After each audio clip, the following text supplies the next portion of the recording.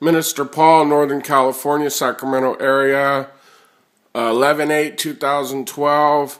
This is part two, was uh, recorded, it aired live on CBS at 5 p.m. Pacific Standard Time. This is part two of the media fiasco uh, lying about what they're calling bath salts. Go ahead, please.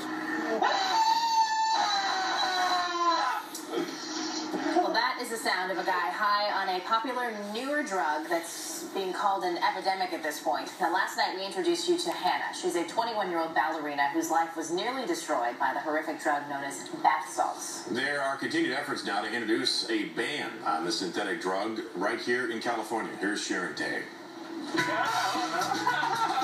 It's known for causing psychotic snaps, drug-induced psychosis, violent behaviors, agitation, high levels of anxiety and paranoia. YouTube video shows drug users on bad trips, many of them high on a drug called bath salts. If you were to take methamphetamine, PCP, combine these together with the hallucinogenic and the stimulant properties, that's, that's pretty much what we're up against. Police believe Deutsche Bank executive Brian Mulligan was high on bath salts days before a violent confrontation with the LAPD. Listen to this controversial audio recording released by the LA Police Protective League. What my lawyer will tell me when I say this, but I, I, I went to a head shop and I bought some of that white lightning stuff. Snort it?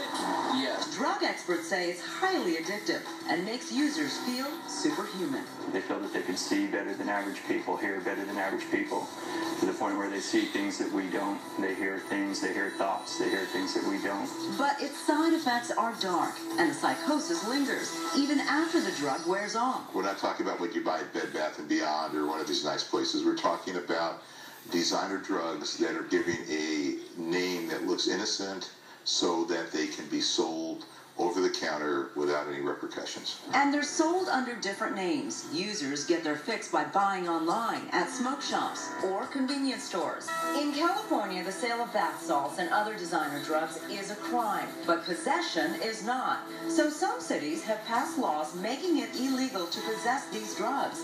But research chemicals used to make them are still readily available on the open market.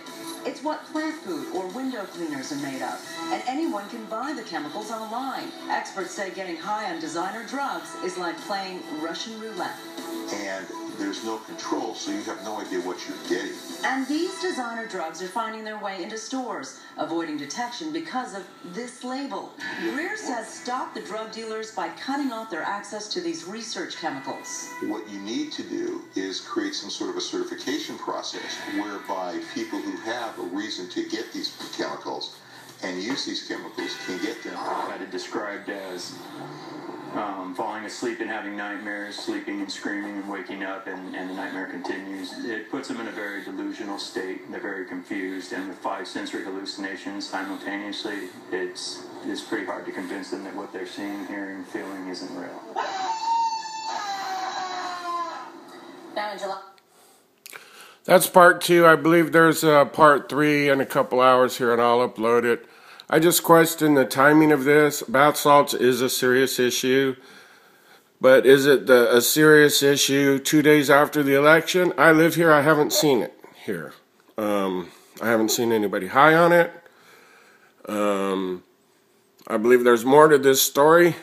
Um, matter of fact, if you go, I'll just show you how the media works real quick. You see the blood dripping off of that? It's all uh, it's all part of their little show. And look at Sam Shane. He's a Christian. It's obviously that he's actually concerned over this, and I don't mean to speak for him, but uh, I know uh, some of his background.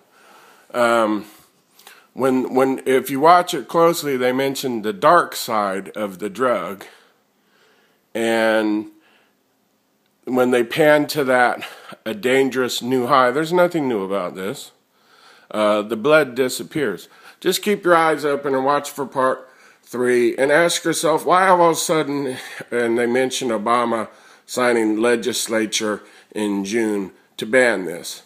So the final say was uh, President Obama is going to fix this. Just remember that.